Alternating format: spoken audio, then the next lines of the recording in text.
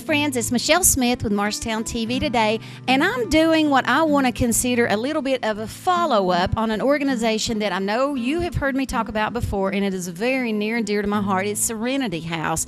Uh, Serenity House, it's here located on Kennedy and Lincoln, the corner of. It is a United Way agency, it's a nonprofit agency. And anyway, Stephanie Hamill, the uh, executive director, she and I have been on here talking about camp hugs and, and ways you can volunteer and stuff. But I just so happen to have a very precious friend who resides here in what I call her presidential suite.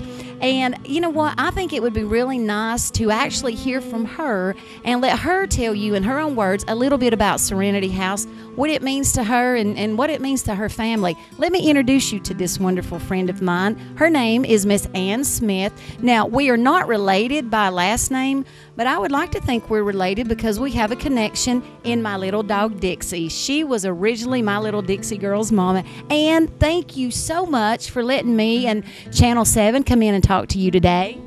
I appreciate you coming. Well, you were just you were just you were such a joy. I have just loved from the minute we first met. You have been such a delight to me. But oh, and I have told her she can be Gloria Swanson for her close up if she chooses. But but if you would, look how pretty she is. If you would, let's talk just a little bit about how you came to be here in the presidential suite at Serenity House. I went for a biopsy on my lung because I have new tumors there. I also have a new tumor in my breast and I can't have surgery because it's small cell cancer. So my when they went to biopsy, my uh, what they had found, what they oh, and this is her daughter Teresa. She'll be on the sideline. So we, let's just say when they went to biopsy, what they had found. How's that?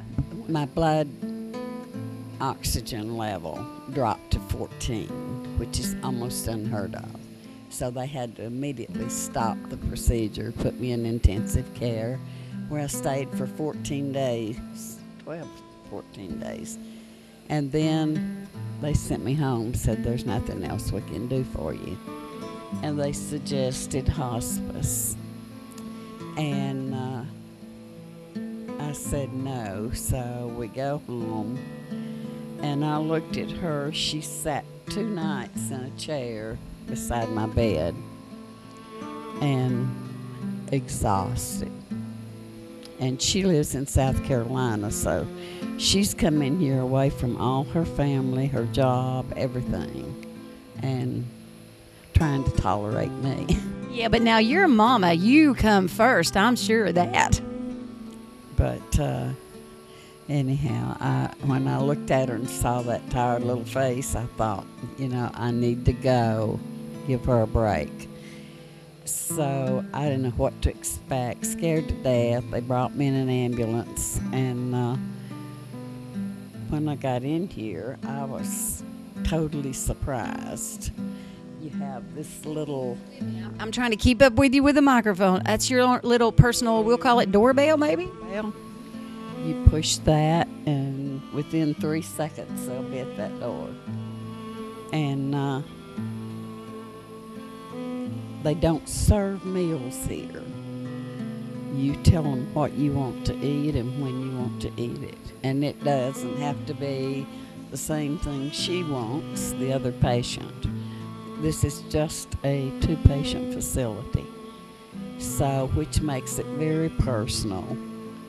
And, uh, well, it's the best place in the world to be if you need a home away from home.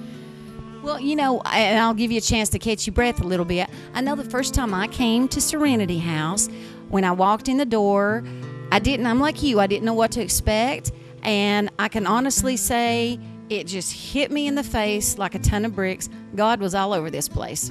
Very warm, very loving. The staff is amazing, wouldn't you agree? I agree totally. I agree. There's nights that I, I have trouble sleeping and if they're not real busy, they'll come in here and sit down. We'll sit and talk for a couple hours, you know, till I'm relaxed down, till I think, you go back to work so I can sleep now. This becomes your home to where you have new family, right? It has. And uh, it's, I don't feel uncomfortable. I'd feel more uncomfortable staying in a hotel than what I am here. Well, you don't have such uh, such fun atmosphere and warm and loving people at a hotel, right? Right. Uh, they can use anything from towels to groceries, things that that last, that not perishables, but uh, detergents. Uh, Just normal things, just normal things we use around the house. right, exactly. Things you would use at home to keep up a house, to clean it and cook and Just like a home, what you would need at your home.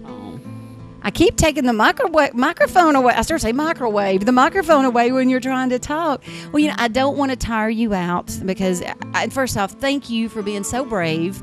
And I love that you wanted to talk to folks about Serenity House. Like I said in the past, I've been here, I've had other friends here, and I think it's a very warm and loving place. Like I said, I can't stress that enough. And you seem to be quite content here. I am happy here, very happy here. Well, again, I adore you as a friend. I adore you as a person, and I thank you for your bravery. Okay. Guys, you know, again, Serenity House, if you have a loving, volunteering heart, come and volunteer. You know, again, Anne's here. There's, there's, it's a two, and I'm not going to say patient facility. That's a hospital. There's two folks that live here at a time.